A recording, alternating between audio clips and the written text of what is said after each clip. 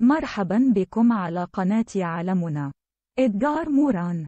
الفرد أولا أم المجتمع؟ يعد الفيلسوف وعالم الاجتماع الفرنسي إدغار موراني 1921 واحدا من كبار المفكرين الشموليين الذين تناولوا مختلف مشاكل العصر بروح نقدية إصلاحية. وهو يكرر دائما أننا نسير باتجاه الهاوية إذا لم نغير في الأسس التي بنيت عليها الدول والاقتصاد والتعليم والعلم الحديث لأن علة عصرنا وأمراضه الاجتماعية. والاقتصادية تعود أساسا إلى أن الدول الحديثة تنظم المجتمعات بشكل جيد ولكنها حولت نفسها أيضا إلى أداة للتسلط والظلم وأن العلم الحديث حقق قفزات نوعية. كبيرة وساعده على حل كثير من مشاكلنا ولكنه أصبح أيضا من أكثر الأدوات خطرا على حياة البشر خاصة بعد اقترانه بالتكنولوجيا الحديثة وصناعة الأسلحة النووية. أما الاقتصاد العالمي فهو مزدهر ولكن أعداد الفقراء تزداد بشكل غير مسبوق أيضا. وتعود قساوة نقد موران لحضارتنا المعاصرة إلى اعتقاده بأنه وعلى الرغم من التقدم الذي حصل في تنظيم المجتمعات الحديثة إلا أن التفكك الاجتماعي ومشاكل المراهقين وصراع الأجيال وصل إلى مستويات غير مسبوقة وعلى الرغم من أن النظام العالمي الجديد حقق استقرارا مقبولا إلا أن الصراعات والحروب تنتشر انتشارا. النار في الهشيم.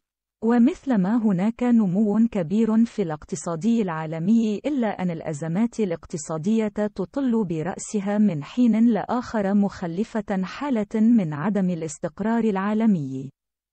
مخاوف موران هذه تعود أساسا إلى ملاحظته بأن ما يسميه ب أساطير الحداثة الثلاث وهي أسطورة أن التقدم العلمي سيجلب السعادة للجميع وأسطورة أن الإنسان سيتحكم بالكون بشكل كامل وأسطورة أن التاريخ يتقدم بالضرورة نحو الأفضل أخذت بالتلاشي شيئا فشيئا. فتقدم العلمي اليوم أصبح بيد الدول الكبرى التي تتحكم به وتستغله ضد من يخالفها مثلما أن الإنسان المعاصر لم يعد قادرا على التحكم بالكون والدليل على ذلك جائحة كورونا التي أودت بحياة ملايين البشر. أما السعادة فقد ضاعت وسط الإحصاءات التي تشير إلى الارتفاع الرهيب في أعداد الناس الذين يعيشون في عزلة وبؤس فضلا عن تراجع التضامن الاجتماعي والشعور بالمسؤولية الأخلاقية. أما سبب تلك الأزمات فهو أن العالم لا يسير إلى التقدم والسلام والرخاء بالضرورة كما يعتقد غالبية البشر لأن هناك صراعات كبرى هي التي تحرك هذا. العالم الصراعات الاقتصادية العالمية الصراع بين الدولة والفرد الصراع بين الفرد والمجتمع صراع الهويات والقوميات الصراعات بين الدول تنمر الدول الدكتاتورية على شعوبها. وعلى ذلك إذا لم يعرف الإنسان المعاصر كيف يدير تلك الصراعات ويسخرها لخدمة مصالحه الكبرى فإن المستقبل سيبقى غامضا ولا يمكن لأي عالم من علماء المستقبليات أن يتكهن بما سيكون عليه الكون بعد عدة عقود من الزمن. إحدى أهم طرق اكتشاف الصراعات داخل المجتمعات عند موران هي تحليل المفاهيم وذلك لاكتشاف التناقضات داخلها فهو يحلل مفهوم الحرية الفردية مثلا لدى الغرب ليجد أنه وعلى الرغم من أن تلك الحرية قد جلبت الحياة المستقلة واحترمت الخصوصيات وحدت من استغلال البشر لبعضهم إلا أنها جلبت للإنسان الغربي. العزلة والتفكك الأسري أيضا مثلما جعلته أكثر أنانية وكائنا باردا اجتماعيا. وعندما يحلل مفهوم المساواة الذي يعد أحد أعمدة الحداثة الثلاثة الحرية، المساواة، التآخي، يجد أن العالم الغربي يريدها لنفسه وشعوبه ولكنه لا يريدها للشعوب الأخرى. ولذلك يتوصل في النهاية إلى أنه لا بد من إعادة التفكير في البديهيات التي تربينا عليها وتعلمناها في المدارس والجامعات لكي نواجه أزمة الوجود. الإنساني حيث الحياة الاجتماعية تفتقر إلى الحب والتضامن والشعور بالمسؤولية وحيث يعاني الفرد من الوحدة والضغوط النفسية والقلق العام والشعور بالريبة من كل ما يحيط به وحيث معاناة الفئات المهمشة مستمرة. وموران يعطي تلك المشكلات أولوية في تفكيره لأنه لا يعتبرها هامشية فهو يكرر دائما أن مشاكل العوائل والمراهقين والمهمشين وسكان الأرياف والمدن تحمل في داخلهم بشكل مركز مشاكل حضاراتنا. العلاقة المركبة بين الفرد والمجتمع في تحليله لعلاقة الفرد بالمجتمع يقف موران ضد النزعة الفردية الغربية المفرطة التي تحول المجتمع إلى مجرد خادم للفرد. وحام لحرياته الشخصية دون أي تقدير لدور المجتمع وقيمه. غير أن موران أيضا ضد النزعة الجماعية التي تبالغ في احترام وتبجيل المجتمع ودعم سيطرته على الأفراد بشكل كامل لينتهي إلى أن للفرد حريات يجب أن ينالها كاملة وحياة خاصة يجب أن تحترم ولكن للمجتمع أيضا دورا ومكانة يجب أن يكون حاضرين في الحياة العامة ولكن كيف يتم ذلك؟ مشكلة الفردية المفرطة. أنها أوقعت الفرد المعاصر في الأنانية والتمركز حول الذات ومتطلباتها. حتى أن الفرد المعاصر أصبح لا يفكر سوى بنفسه وحاجاته ومستوى معيشته. وهذا أدى بدوره إلى ارتفاع قلق العيش لدى الناس والذي يعني التفكير الدائم برفع مستوى المعيشة وترفيه الذات إلى أقصى درجة ممكنة. أما أهم مشكلة تسببت بها الفردية المفرطة فهي تراجع شعور الأفراد بالمسؤولية تجاه مجتمعاتهم وضمور الحياة الاجتماعية فضلا عن تراجع الأخلاق العامة. أما مشكلة المجتمع الذي شكل على مدى التاريخ كيانا مستقلا عن الفرد فتعود إلى أنه يحاول فرض مصالحه ومعاييره على الفرد بشكل شبه قسري. فمع الأيام أصبحت للمجتمعات حسابات ومصالح لا تتوافق مع مصالح الأفراد وحساباتهم لأن المجتمع في النهاية لا يهتم بمصالح أفراده بقدر ما يهتم بمصالح الفئات. ذات النفوذ والمكانة التي تتحكم به.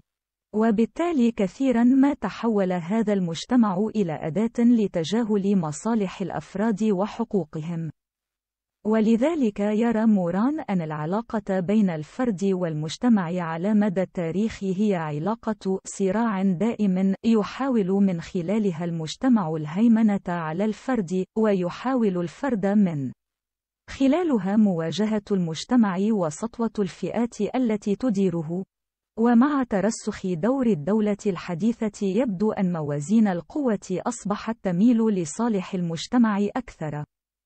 فالدول اليوم تدعم المجتمع وتستخدمه لضبط الأفراد مثلما أن قدرة المجتمع على تنظيم نفسه أصبحت أكثر مرونة. ولذلك يعتقد موران أن المجتمع أقوى من الفرد وعمره أطول لأن الأفراد يموتون ولكن المجتمع يبقى على قيد الحياة يجدد قوته ويعيد تأهيل نفسه. ولذلك يصف موران المجتمع بأنه وحش عملاق وهو تشبيه يستعيره من الفيلسوف البريطاني هوبز دور الهوية في المجتمعات الحديثة أما أكثر وسيلتين يحاول من خلالهما المجتمع أن يسيطر على الأفراد ويحد من حرياتهم ومصالحهم فهما الشعور بالانتماء إلى الهوية والنزعة الاستهلاكية. تعود قضية الهوية ودورها في العلاقة بين الفرد والمجتمع إلى سبب بسيط وهو أن كل هوية تحمل في داخلها ميولا تساعد المجتمع في السيطرة على الفرد. والتحكم بحرياته الخاصة وتتعقد المشكلة إذا علمنا أن غالبية الدول تميل إلى السيطرة على الأفراد من خلال المجتمع مستغلة حاجات الإنسان النفسية والثقافية. والروحية إلى الانتماء إلى هوية يشعر بها حتى أن غالبية الدول الدكتاتورية تستثمر في تأجيج الهويات لفرض هيمنتها على الأفراد والتحكم بهم ويعود ذلك. الاستثمار في تأجيج الهويات الاجتماعية والثقافية والدينية إلى أن إمكانية تحكم السياسيين والحكام بالمجال العام تصبح أكبر وقدرتهم على توجيه الناس تصبح أسهل لأن الخوف على الهوية يدفع الأفراد إلى تقديم تنازلات لصالح الدولة التي توهمهم على أي حال بأنها حامية لهوياتهم. ومع ظهور الدولة الحديثة ولا سيما دولة الأمة في أوروبا الحديثة ارتفعت وتيرة تسخير الانتماء للهوية من أجل فرض طاعة الفرد للمجتمع. حتى أن تلك الدول بالغت في الربط بين وجود الفرد من جهة وبين تفانيه في خدمة وطنه من جهة ثانية أي تحويل وجود الفرد إلى مسألة تابعة للوطن وهو الأمر الذي جعل شعوبا بأكملها تتحول إلى آلة تخدم الفئات المتحكمة بالوطن وهي راضية متوهمة أنها بذلك تخدم أوطانها. لدرجة أن موران يحمل مسألة تأجيج الهويات مسؤولية جر البشرية إلى حروب وصراعات دموية ذهب ضحيتها ملايين البشر. المشكلة تتعقد اليوم لأن العالم المعاصر يشهد تحالف دول كبرى عبر العولمة وأن هذه العولمة كثيرا ما تلجأ بحكم طبيعتها إلى إغراق الأفراد في نزعة.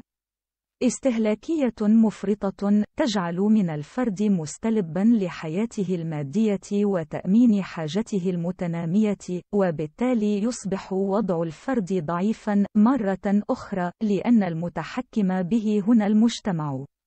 والدولة أيضا ولكن هذه المرة عن طريق الشركات التجارية الكبرى ووسائل الإعلام.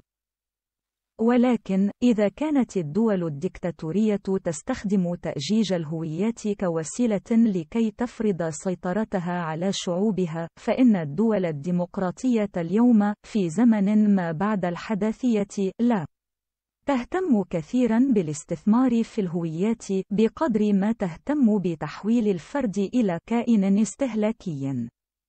ومن المعروف أن أهم صفة من صفات المجتمعات الاستهلاكية أنها تبعد الإنسان عن انتماءاته وهوياته وتنوعه الثقافي وتختزل حياته إلى العيش في عالم الماديات.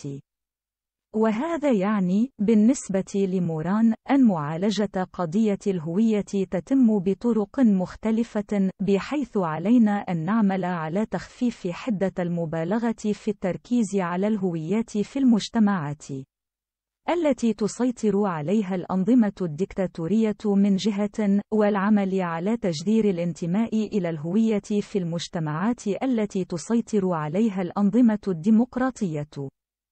وهنا يطرح موران مفهوم الهوية الإنسانية الذي يمكن من خلاله أن يحتفظ الأفراد بهوياتهم الوطنية والدينية والقبلية ولكن أن تكون تلك الهويات ضمن أفق إنساني بعيدا عن التعصب والعنصرية وتأجيج مشاعر الفوقية لأن البشر في النهاية يشكلون أسرة كونية واحدة وأن اختلافهم في الهويات والثقافات يجب أن يكون عامل إغناء وليس عامل صراع.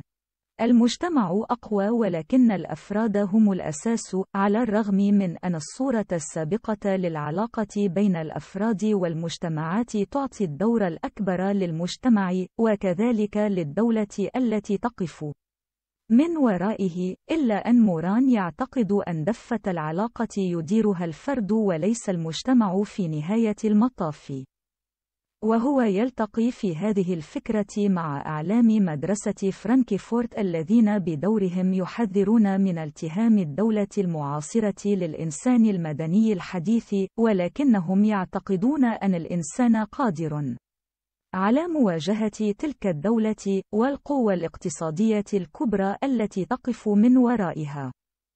ولذلك فإن موران مؤمن بأن للفرد أيضا عناصر قوة يستطيع من خلالها أن يقاوم الدولة والمجتمع. وأول هذه العناصر هو الوعي لأن الإنسان في النهاية هو مركز الوعي داخل المجتمع ومن أجل المجتمع. غير أن مشكلة الإنسان أنه لا يفكر في أوضاعه ومصائبه إلا في وقت متأخر ذلك أن علاقة الفرد بالمجتمع هي علاقة تداخل وتضاد وتكامل في الوقت نفسه. والتداخل يعني أن الفرد يعيش داخل المجتمع ولكن المجتمع يعيش أيضا داخل الفرد بحيث يكون لدى الفرد حرية فردية تجاه المجتمع لكن المجتمع يشكل أيضا كلا منظما تؤثر خصائصه المنبثقة رجعيا في الفرد. وبذلك ينتج الأفراد المجتمع الذي بدوره ينتج الأفراد أما بالنسبة للتضاد فيعني أن المجتمع يقمع اندفاعات ورغبات وآمال الفرد التي تميل بدورها إلى مقاومة ضغوط المجتمع وممنوعاته. وفيما يتعلق بالتكاملية فتعني أن علاقة الفرد والمجتمع علاقة مزدوجة هي في حقيقتها جمعية وتنافسية بمعنى أن الأفراد يتنافسون مع المجتمع مثلما تتصارع. المصالح ولكن المجتمع أيضا يجمعهم ولا سيما وقت الحروب ونائبات الدهر. هكذا لا يميل موران إلى إلغاء طرف لحساب آخر لأنه يعتقد أن كل طرف بحاجة إلى الآخر ولذلك نجده يجاهد في إقامة نوع من التوازن بين طرفي المعادلة. مع إعطاء المبادرة للأفراد لأن المجتمع هو الأقوى في النهاية. لا بديل عن العودة إلى قيم الحداثة حل كل تلك المشاكل الاجتماعية والسياسية والثقافية التي تحدثنا عنها لا يتم بحسب موران إلا بالعودة إلى قيم الحداثة.